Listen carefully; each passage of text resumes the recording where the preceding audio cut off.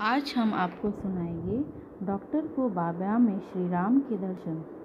एक बार एक तहसीलदार साईं बाबा के दर्शन करने के लिए शिरडी आए थे। उनके साथ एक डॉक्टर जो उनके मित्र थे, वे भी आए थे। डॉक्टर राम भक्त और जाति से ब्राह्मण थे। वे राम के अतिरिक्त और किसी को न मानते और पूछते थे। वे अपने तहसीलदार दोस्त के साथ इस शर्त पर शिरडी आए थे कि वे न तो बाबा के चरण छुएँगे और न ही उनके आगे सिर झुकाएँगे। न ही वे उन्हें इस बात के लिए मजबूर करें क्योंकि बाबा यवन मुसलमान हैं और वे श्री राम के अलावा किसी के आगे सिर नहीं झुकाते। शिरडी पहुंचकर जब दोनों साईं बाबा के दर्शन करने के लिए मस्जिद गए तो तहसीलदार से पहले उनके डॉक्टर मित्र आगे गए और बाबा के चरणों में गिरकर वंदना करने लगे। यह देखकर तहसीलदार को बड़ा आश्चर्य हुआ। अन्य सब उपस्थित लोग भी अचरज में डूबे गए।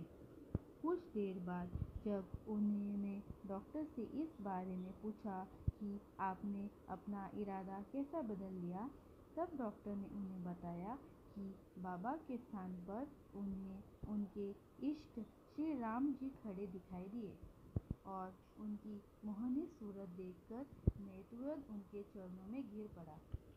जब वह ऐसा कह रहे थे तो उस समय साईं बाबा खड़े मुस्करा रहे थे। साईं बाबा को खड़े देख डॉक्टर को बहुत आश्चर्य हुआ कि कहीं वह कोई स्वप्न तो नहीं देख रहे हैं।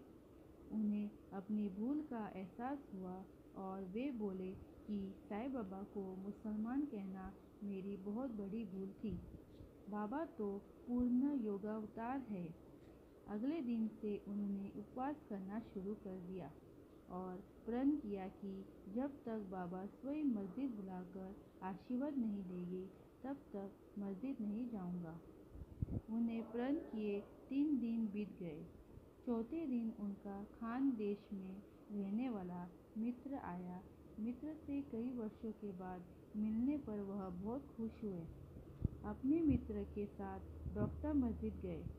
जब डॉक्टर बाबा की चरण वंदना करने के लिए झुके तो बाबा ने कहा, तुम तो मस्जिद नहीं आने वाले थे।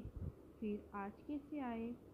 बाबा के वचनों को सुनकर डॉक्टर को अपना प्रण याद आया। उनका हृदय द्रवित हो उठा और आँखों में आँसू भर गए। उसी रात को साई बाबा ने डॉक्टर पर अपनी कृपा दृष्टि की तो उन्हें सोते हुए ही परमानंद की अनुभूति हुई। और वे पंद्रह दिनों तक उसी आनंद में डूबे रहे। उनके बाद वे साईं बाबा की भक्ति के रंग में रंग गए। धन्यवाद।